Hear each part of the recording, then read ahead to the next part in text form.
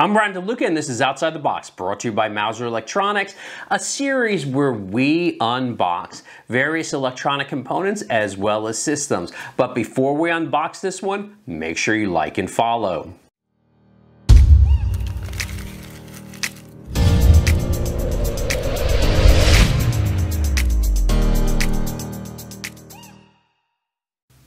One of my favorite parts about Mouser.com is all of the great technical content and articles on the site. If you want to learn about any topic in the electronic space, it's the place to go. Now let's open this box.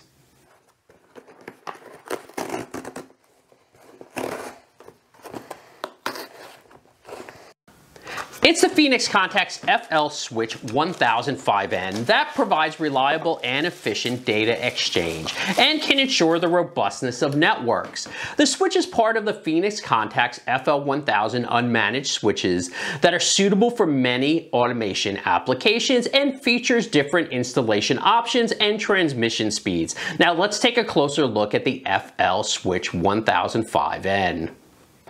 The FL Switch 1005N has RJ45 ports that support transmission speeds of 10 slash 100 megabits per second. It has local diagnostic indicators with LEDs. And on the back, we have a DIN rail mounting.